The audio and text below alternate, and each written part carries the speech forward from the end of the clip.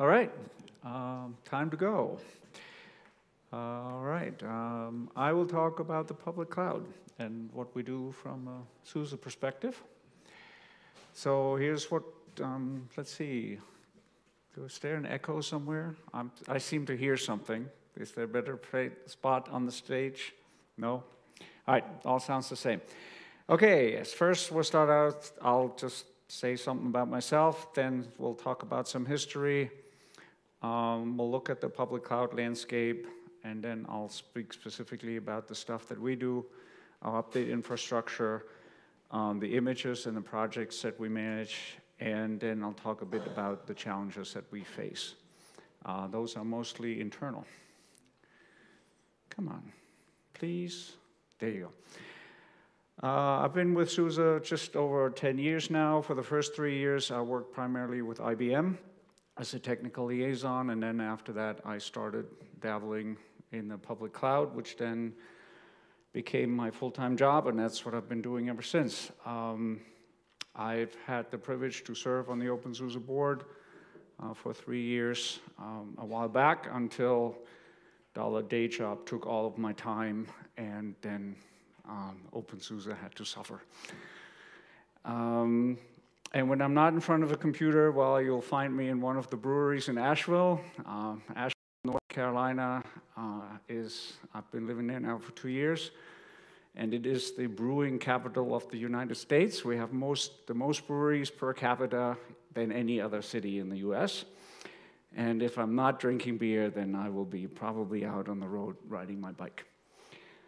So, uh, enough about me, some history. Um, so it all started in AWS. Uh, AWS is Amazon Web Services. Um, Amazon Web Services itself is about 10, uh, 12 years old now. And uh, you can see we published our first image, um, when was that? In 2010, on October 4th.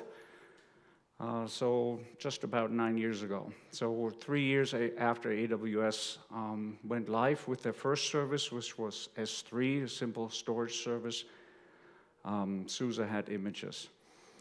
Uh, then in 2013, we followed up with, an, with image in Azure and in 2014 in Google um, Compute Engine.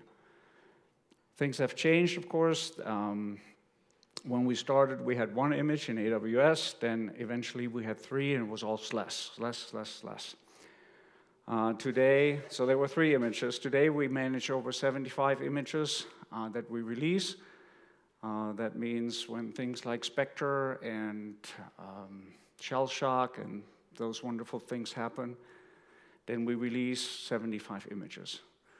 Um, that all usually happens within a day um, or two after the kernel gets fixed and gets released. Um, so um, yeah, in, in the early beginning, there was an update infrastructure in AWS that was a custom implementation. Um, now we have an update infrastructure that is comprised of roughly 250 servers and is cloud framework agnostic. And um, yeah, there's nothing, there, I mean, there's a few bits and pieces of special sauce, but basically it's based on our uh, standard products. Uh, we switched recently from SMT to RMT, and um, that went off pretty much without a hitch. Um, we had, uh, at the time when I started, we had one project in revision control. Today we have 25 uh, projects in, uh, in GitHub um, plus a private repository with a number. That's a collection of tools that we use.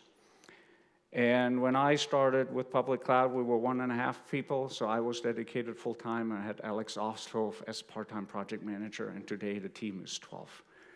Uh, so you can see over the last seven years, uh, there's been significant changes. Uh, for, as far as partners is concerned, so we have the hyperscalers, that's AWS, Azure, and Google. Um, that's ordered by size, so AWS is definitely the largest uh, cloud, public cloud provider uh, by any measure. Number of services, revenue, anything you want to throw out, uh, AWS is the largest provider. Uh, followed by Azure, and uh, then followed by Google.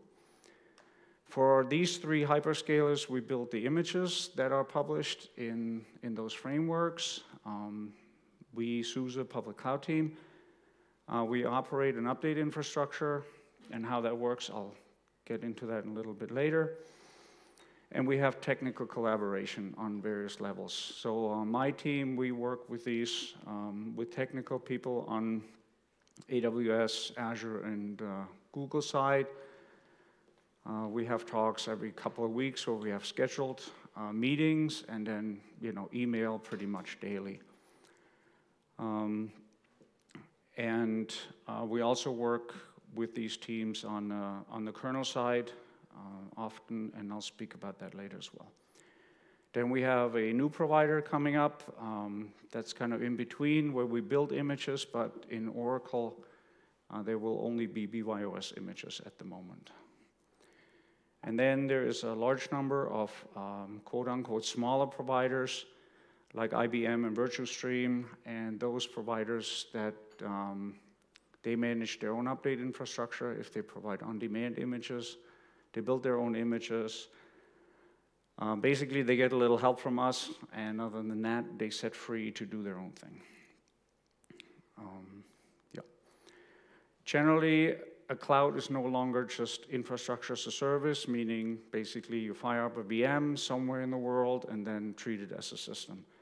Uh, today, a modern cloud has services such as function as a service, database services, file system services, storage, you name it, it exists as a service and you can get it from them.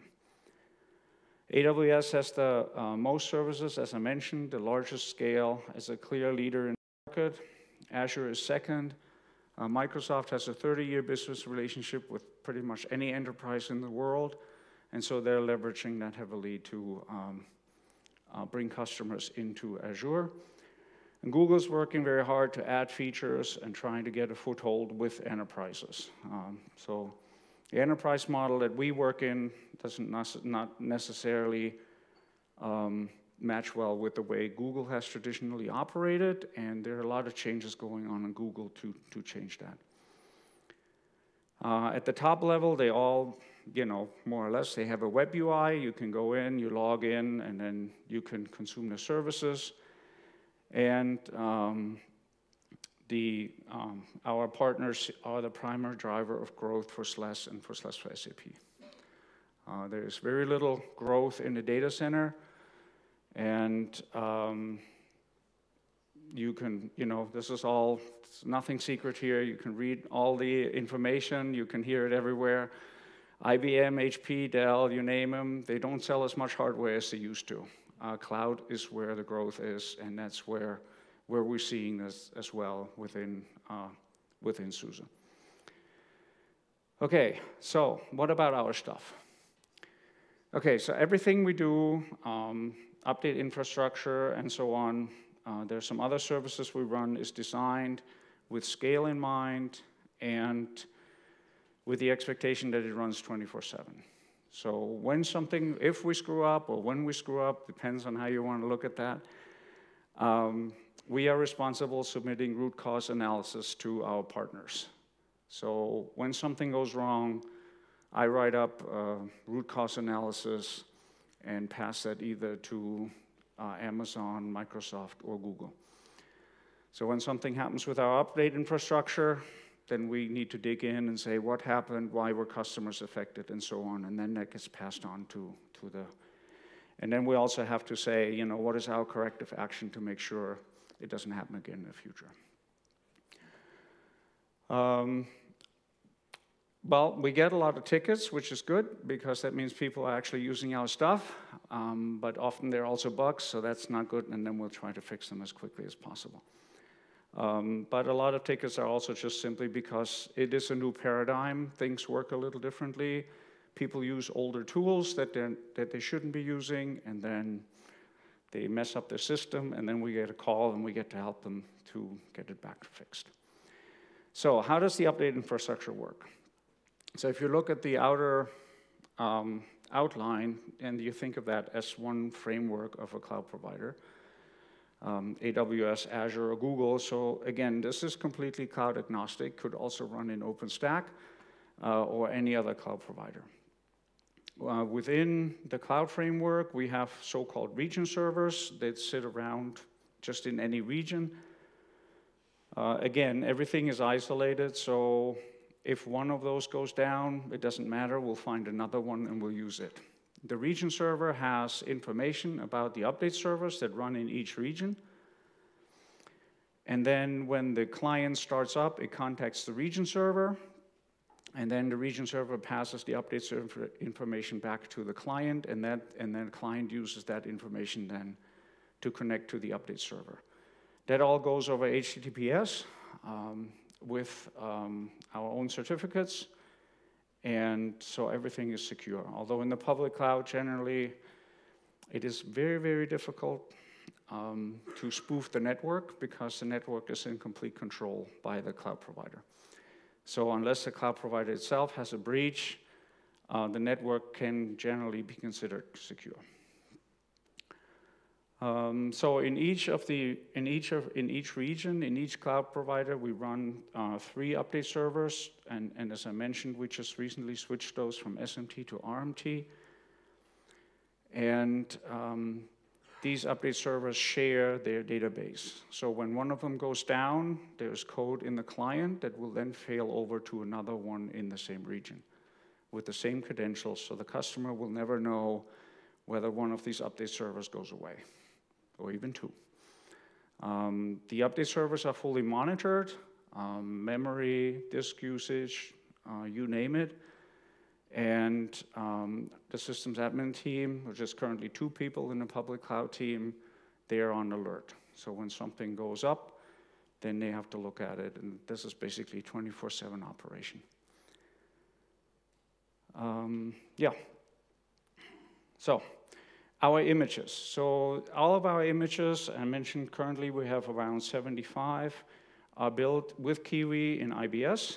We have three projects one is develop PubCloud. That's basically our play playground where we test things, we build new images. Uh, you know, when something comes up or we test new packages. Often we also test the leading edge. We have a lot of packages that we link in from OBS to make sure that whatever's coming next is not going to break us. Then we have the stable project. And the stable project is basically a mirror image of what we're building in production in the SUSE namespace.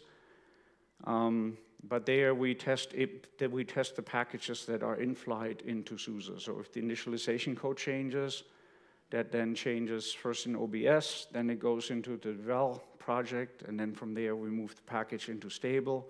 We test those images, and then we submit the package back into the SUSE namespace via the regular maintenance process. And then the uh, production images are built in SUSE, SLE version, and then update PubClouds. So if you're interested in looking at the images and how they're set up, uh, that's where you find our production image setup. Um, images prior to SLES 12 SP4 were built with uh, Perl Kiwi, uh, which is in maintenance mode, and in SLES 12 SP4, and later we, we switched over to the new version of Kiwi, Python Kiwi. Um, and there were some features added. And then as of SLES 12, we uh, started setting up multi-build, which is a new feature in OBS, where we can build multiple images with the same image description, um, which is uh, one feature that we need for the SAP container host uh, to make sure that all the images contain the exact same package version. So multi-build images get, the, the build gets kicked off at the same time, and therefore we get the same package versions. Or if we have uh, image descriptions that are separate. They get kicked off at different times, and then there's no way to guarantee in the build service that we may not pick up a newer version. So with the multi-build, uh, we can guarantee that an image, images for different platforms all have exactly the same packages. Uh, then we have various flavors of our images. Uh, so we have BYOS. BYOS means bring your own subscription.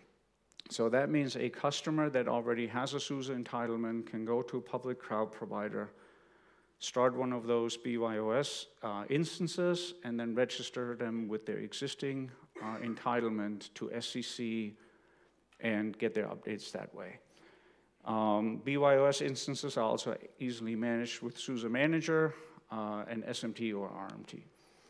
And then on-demand uh, instances, so they have special sauce, and that special sauce is basically the Cloud Region Server client, and that code handles the registration to the update server. So that code does all the magic of contacting the region server, uh, getting that information, processing it, and then registering it with the uh, update infrastructure that runs in the region of uh, the public cloud provider.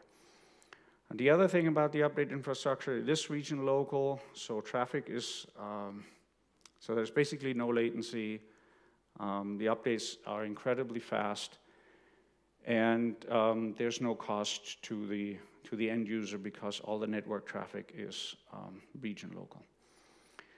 That also means that as soon as the uh, user logs into the machine via SSH, updates are immediately available and zypper up just works, so, which is uh, really great. Uh, for on-demand, we get paid via the cloud service provider, uh, so the customer really doesn't have, if they're just using on-demand, really does not have any contact to SUSE.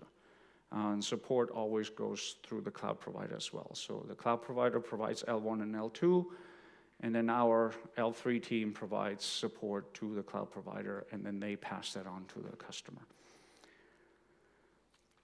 Uh, the products we have today in the public cloud available that can be launched is SLES, uh, BYOS and on-demand. We have SLES for SAP, BYOS and on-demand. Then we have SUSE Manager Server and SUSE Manager Proxy images, so those are bring your own subscription only. Uh, we have HPC images, um, for SLES 12 SP3, they are BYOS on demand um, in Azure with a special RDMA driver that is out of tree. That is going away soon, yay. And then uh, as of SLES 15 SP1, we also have BYOS HPC images in AWS, and we continue to do BYOS and on-demand in Azure. Uh, in Azure, there are new instance types that use PCI pass-through, of InfiniBand devices, and so we can get rid of the RDMA driver that is out of tree, and that makes our life a lot easier. In AWS, we're currently working with the, with the labs team to get the EFA driver into our kernel. Uh, a little bit more on that later. Uh, EFA stands for Elastic Fabric Adapter. Uh, and then there's an ENA driver, which is the Elastic Network Adapter. Okay, go. Okay, special stuff. So we also have specialty images that we build. So for, for Amazon, we build an ECS image, which is the Elastic Container Service. Um, the Elastic Container Service has an Amazon implemented orchestrator. So that is not Kubernetes, that is an Amazon uh, implementation. Um, those images contain uh, are basically host images. They contain Docker uh, and initialization code that automatically integrates an instance into a cluster that runs within ECS. Then we have the container host image. Um, Felix already mentioned that. Uh, so that's basically a, a Kubernetes host. Um, we work together very closely with SAP on that. Um, but it's also generally useful for um, for Kubernetes hosts, and we're currently working with the SUSE CaaSP team to see how they may piggyback on that effort as well. Uh, in AWS, the, uh, the image is released, and Azure and GCE, we're still working with SAP. There's testing, and then they will eventually be released. Uh, and then we have an SAP CAL image. CAL stands for Cloud Appliance Library, so SAP has a web application that they make available to their customers uh, where, their where SAP customers can then um, launch specific SAP workloads and, and under the covers, those get created on these uh, special VMs. And then we have a few others in the works. So, um, all of this is fun, but we're also trying to marry our enterprise lifecycle with yearly uh, service packs and overlap support, extended overlap support, LTSS, all those wonderful complications with the expectations that exist in the cloud. Um, so AWS Amazon itself. They have Amazon Linux images. They have never deleted an image. Never deleted an image. So for 13, uh, 12 years, since EC2 existed, you can find AWS Linux images that are 12 years old. That obviously does not work for us, right? Because that would mean uh, SLES 10 would still be available if we would have had SLES 10, right? So the uh, image lifecycle that we've created is trying to address this problem uh, in that we're trying to accommodate what we do uh, in the enterprise. So yearly life cycles, and SLES has a six-month overlap period, and SLES for SAP has 18-month overlap. We're trying to accommodate that with expectations um, that people have in the cloud. Uh, so for Google and for Azure, we're actually managing that really well, and for AWS, we're still working with them to get them to understand the concept that images become outdated and they need to go away.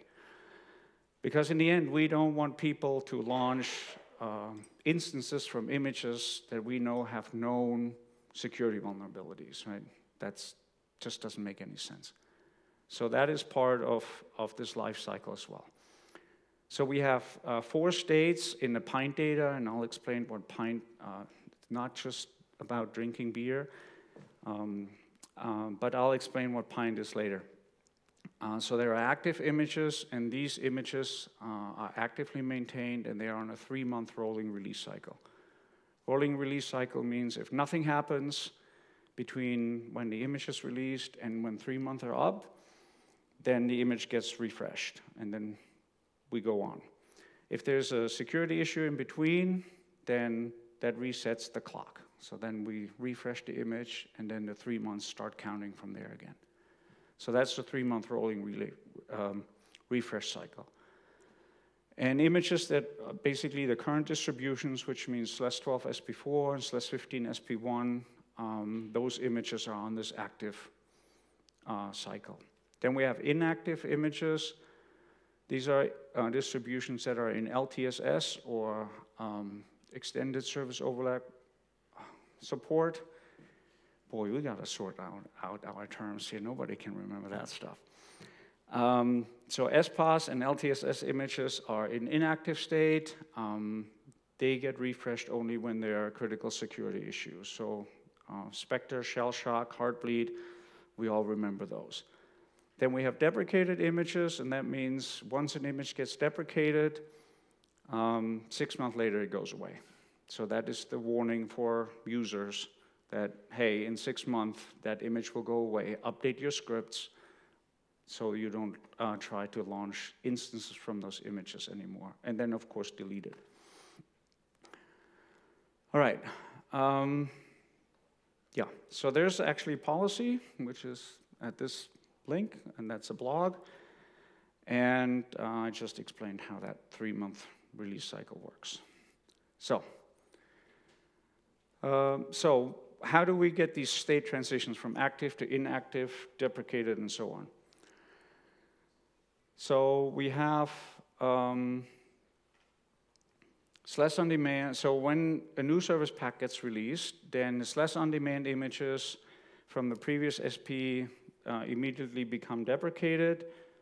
BYOS becomes inactive because they then go into LTSS. And um, SLES for SAP also becomes inactive because they go into the ESPOS period. Uh, when we have an image refresh, every image that gets refreshed or gets replaced immediately goes into the deprecated period, so that means six months later they get deleted. Uh, for critical security issues, all images get refreshed, active or inactive, and everything gets, gets refreshed, goes into the deprecated stage immediately. And for bug fixes, um, on-demand images are affected and they get refreshed. And again, everything that gets refreshed gets uh, deprecated immediately. So this is the way we try to accommodate our release schedule of our products, primarily SLES and SLES for SAP, with expectations in the cloud frameworks. And we document it, and we're slowly making progress uh, with our users and with our partners to, um, to get this across. Okay, so now a bit about the projects that the team is managing. So pint, um, pint is a client server implementation to basically find our images in the various public cloud frameworks. Um, if you launch an image in the public cloud in AWS, you need an image ID. In AWS, uh, in Azure, you need a, a, resource locator. And in Google, you just need the name. Uh, so obviously, these are all different. And, and pint addresses that. Plus, pint tells you about the state of the images, and when they were released. And as you saw in the very first slide, I also used pint to figure out when we released the first images. So the pint data contains every image that we ever released in any of the cloud framework from today backwards to the very beginning. And there's a, an ancestry where you can actually find which image replaced a previous one. Uh, the client is written in uh, Python. It's a CLI and implementation and you, it's available for OpenSUSE and for SLES. In SLES, it's distributed in the public cloud module, and you can get it by zypper in Python 3 SUSE, SUSE Public Cloud Info. On the server side, it's a Ruby implementation with a REST API, and it is running in GCE in production. Um, we have three Varnish cache servers um, and a load balancer. So this is globally load balanced to these three Varnish caches, again, highly available 24-7, expected to never be out of service. Uh, the Varnish cache servers naturally run in different regions across the world, so that if one region goes away, the others should still operate. Uh, we've not seen any outages on, on that front. Uh, then we have, we're working on image proof. Um, again, this is uh, SUSE Enceladus is the uh, organization where we're doing all our work. Uh, this is a Python CLI and library. It's basically is an image tester. And uh, the SLE uh, product QA team has, implement, uh, has integrated uh, image proof into OpenQA. you can find some statistics there, OpenQA. And um, so this was really great, and it's really nice to work with the SLE QA team, and um, hopefully we can, you know, going forward, we also want to work with the maintenance QA team. Um, there's another tool I'll talk about in a minute. So this was specifically designed to test our images, so it does rudimentary um, testing. That means we bring up an instance from a new image, we make sure it boots without errors, um, we check registration for on-demand in instances. We make sure the image can, the instance, the running instance can be rebooted, uh, updated, and things like that. So basically just a very uh, basic smoke test. And those tests are already built into image proof. Then MASH is a higher level project. Um, it is a release pipeline. As you can see, it starts by downloading images from IBS and it can go as far as image deprecation. Uh, so all of this gets is automated, or well, the project is still ongoing. So we, we download an image from IBS, then we upload it to any of these cloud frameworks. Then the tester runs image proof. Um, then once we pass the test um, it gets replicated. Replication is, of course, different in every cloud framework, so there's all specialist, specialized implementation. Then the publication, again, different per cloud framework, and then we do the image deprecation. Uh, today, MASH is only available via jump host. Uh, so this is the architecture. And, and we, you know, if there's anything, we can insert a service in between um, the services communicate with each other via message queue.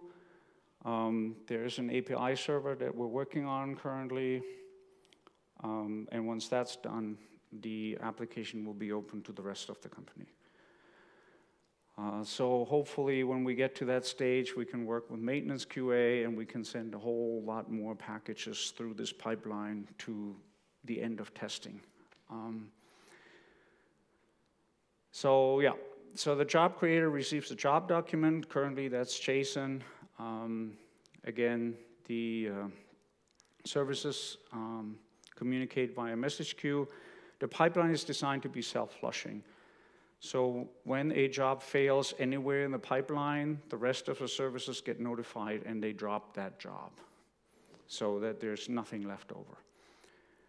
Um, authentication is currently application specific um, because due to the well, due to the very old single sign-on implementation that we're still stuck with from Micro Focus and not having our own, um, we decided we didn't want to wait until we have our own. So um, MASH will get its own authentication for the time being. And then when SUSE IT provides a single sign-on infrastructure that we can use, uh, MASH will be updated to, to um, function with that. The pipeline can be exited any point. Uh, so basically that means uh, we have a number of jobs that run just through the tester. So these are basic, you know, daily builds of images that run through the tester and run and run again.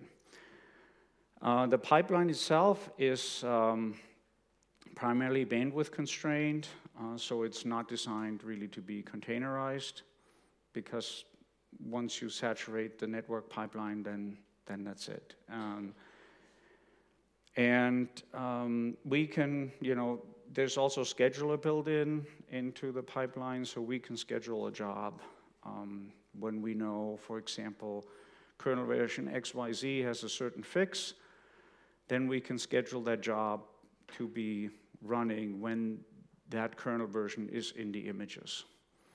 And then nobody has to babysit the job. So CVE fixes that need to be released on New Year's Eve at midnight are no longer a problem for us. Okay, um, so as I mentioned, currently only the public cloud team can use MASH because it's behind a jump host. Um, our next goal is um, to get rid of that jump host uh, with working authentication and then work with the maintenance QA team um, to hopefully we can start sending more and more updates um, through this pipeline and test image builds and test packages before they go out. Uh, recently, we had a couple of kernel releases that introduced regressions in one or the other framework, and uh, they could have been caught if we would have been ready with this tool. Um, MASH itself runs in AWS in a virtual private cloud network construct that is connected to um, the SUSE network via VPN. So on everything that we're pushing out, we get great bandwidth. Pulling from IBS does not necessarily go so fast. Um, and as I mentioned, MASH is primarily network bound. Um, for Azure, we have quote unquote large images that are 30 gigabytes, and during uploading, we're checking for empty blocks so that we're not uploading empty frames. So that's where some uh, CPU uh, performance is needed, but generally, uh, network bandwidth is our limitation, limiting, limiting factor. Okay. Uh, then another project that we ran in the, through the public cloud team is the SUSE migration services. Um, this is an automated distribution upgrade, so across major service packs. Obviously, the cloud has no slot where you can put in the DVD. So offline upgrades with, oh, insert the DVD and follow these three steps just to simply, they just don't work. Uh, so this uh, system was developed.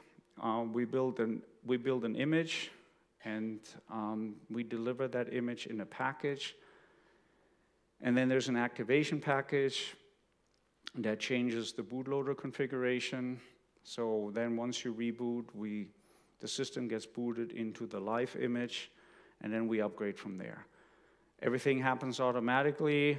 Um, this cannot replace the offline DVD uh, implementation, um, but it does fix our problem in the public cloud for migrating from one service pack to the, uh, from one major distribution to the next.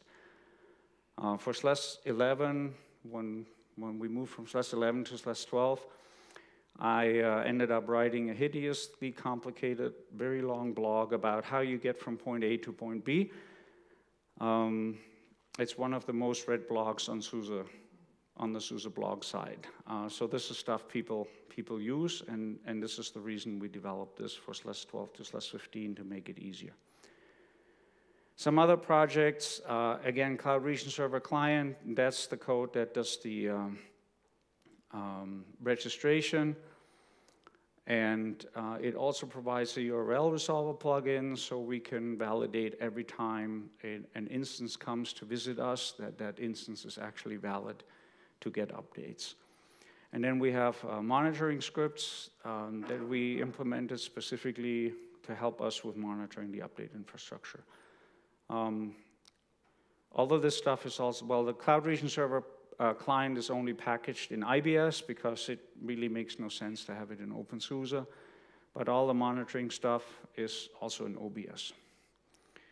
Okay, so now you heard a lot of information where to get in help or you know find stuff if you're interested. So we have an internal wiki, um, which is just on our internal wiki site on the public clouds. There's a mailing list, public cloud users at SUSE.de. We have a Confluence page and ongoing work we're tracking on the public cloud devel team Trello board. So challenges. Now it becomes more interesting. So for current, for the, from a kernel perspective, we have kernel Azure, which is a flavor um, that we agreed on to work with uh, Microsoft. Um, the goal behind the kernel Azure is that we move faster um, so that we can get features to enable Azure to do faster networking or faster disk I.O. or faster this or this new feature um, faster without some of the constraints that we have in our regular enterprise kernel. Um, in order to do that, we agreed that the Azure kernel can break the ABI uh, within a service pack, um, and Microsoft basically gets whatever they ask us to. So they file a bug, um, and Olaf basically puts it into the Azure kernel. Challenges that we have there is sometimes it's difficult to separate what needs to go into the Azure kernel and what needs to be going into the default kernel. Uh, it's not, the lines are not always clear cut. Um, the Azure kernel is primarily maintained by Olaf Hering. Um, and it is the default kernel that we install in the SLES on-demand images. So when a customer launches an on-demand instance in Azure, they automatically run the Azure kernel, and we have documented on how to switch from one to the other, so from kernel default to kernel Azure or backwards. Um, obviously, for SLES for SAP, we have the kernel default um, so that we don't break um, the SAP certification. Also, what comes along with this fast and loose approach is that there's no LTSS support for kernel Azure. Neither do we support add-ons such as kernel live patching, LTSS, and other things. They're just simply not supported with kernel Azure. So kernel Azure lives basically for one year from Service Pack A to Service Pack B, plus the six-month overlap, and then that is considered dead and there's no more maintenance on that. And then, of course, we have the next one for the next service pack and so on. Also part of the agreement with Microsoft is that whatever goes into a kernel Azure in one service pack comes back into the kernel at the next service pack. Um, so obviously that is a lot of work in the kernel team and um, you know we appreciate that for in, in general this all works pretty flawlessly. On the default kernel side, that's used in all other on, in all on-demand images and pretty much all images except for Azure on demand.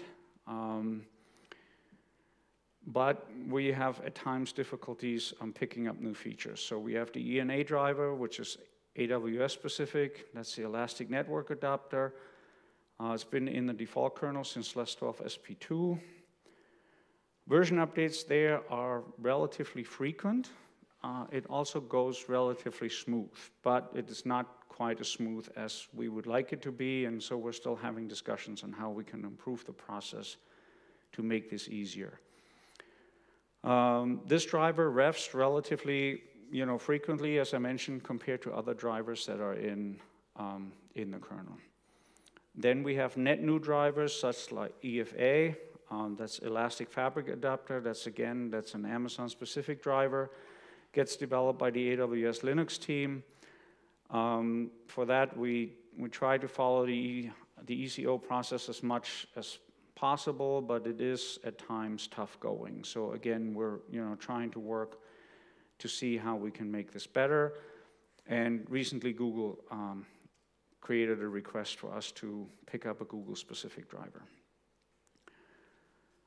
Uh, so we have to have more process discussions on how, how we can make this better. Um, currently, we still have, because of kernel Azure, basically we're favoring Microsoft when we should be Switzerland, right? We should be agnostic. We should treat all our partners equally. Um, and this is one place where we're not really doing that at, at the lowest level in the kernel. And so we still have to figure out how to do this better than we do that today. But it's not just the kernel. So in user space, we also have things that move fast or faster in the public cloud.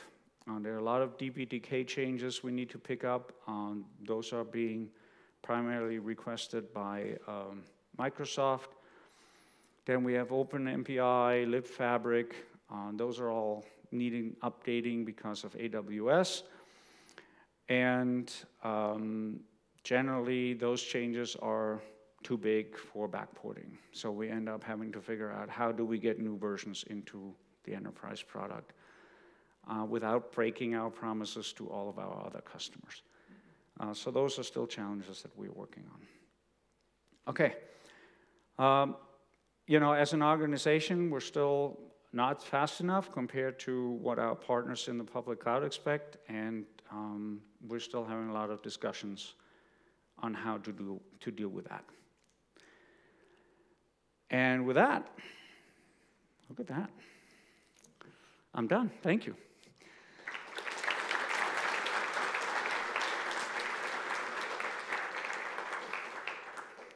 Questions, comments, flames?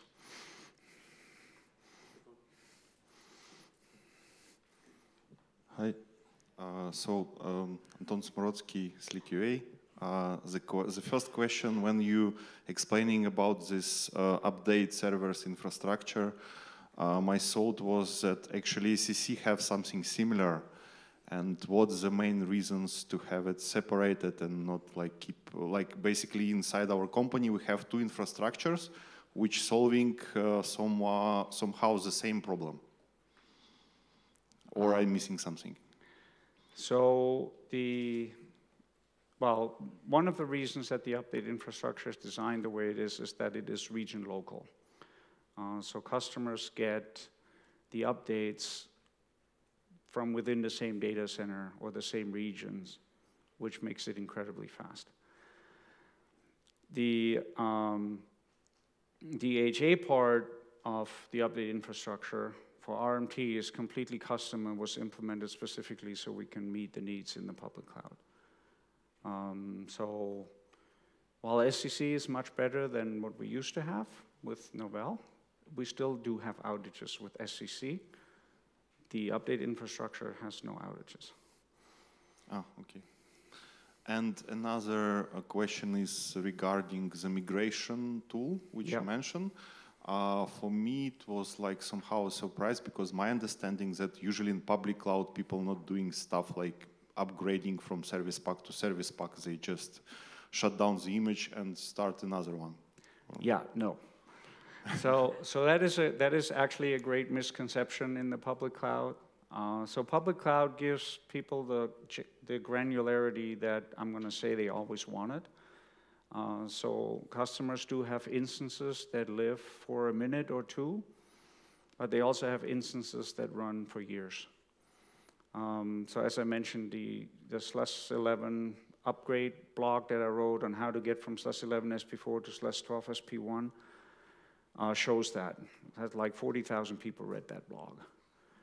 Um, and, and, we, and we still today, now that after switching from SMT to RMT, there were some issues with SLES 11, we still get emails and say, how do we do this now? Uh, so people keep their instances running for a very long time. Uh, and especially you know, SLES for SAP, that's the same. It just happens to run in the cloud now instead of in the data center. So we have everything from minutes to years. Um, and even our update, I mean, our update infrastructure before we switched over to uh, RMT, some of these SMT servers were running for five years and we didn't touch them. I mean, other than updating and you know, rebooting um, within the instance, but the instance itself was still the same instance than when it was started to begin with. But the fact that people is use it, using this this way, I get it. But your personal opinion, is it like normal to do Yeah. su- such things in public in clouds? Yeah, absolutely. Yeah. I mean, there's the, you, you, as, again, you have every granularity that you need, right? As, as a systems administrator, you are very flexible of saying, okay, this, this is a system that I want to run forever. And um, forever could also mean I stop it every now and then, and when I need more memory, I'll just switch the instance type to get more memory. But it's basically the same system that gets updated, just like it would be in the data center. And then you have those people that just say, I have a, a stateless application, and when the instance goes bad for whatever reason, I'll just start a new one and put my application in that and run again, right? So again, everything in between, from minutes or seconds to years, and, and everything in between. Lars? Yes, Lars. Hi. Um, you said that testing is not so easy because you have limited bandwidth to us inside the build service. Yeah. Um, can we make a deal somehow? Can we check if we can use, for example, Edgecast or so? So we push out the images there and you take them from there or something like that? Uh, sure. Maybe Yeah, we can. we, we can have talk a later. conversation about that, yeah. Okay.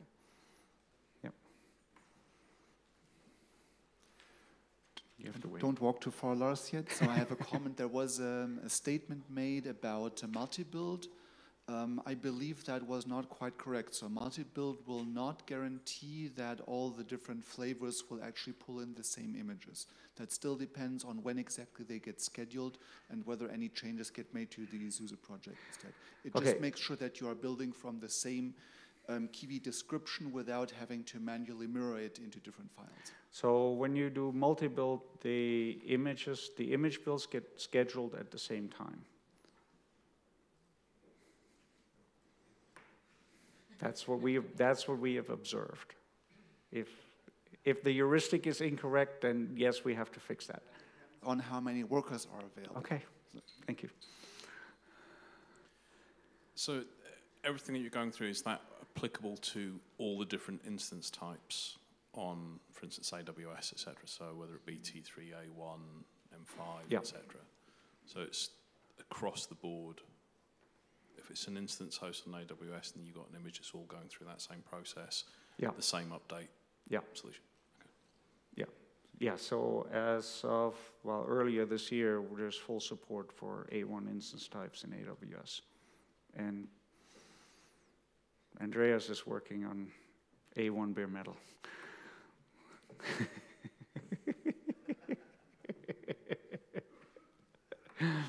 Okay, uh, anything else? Five minutes left.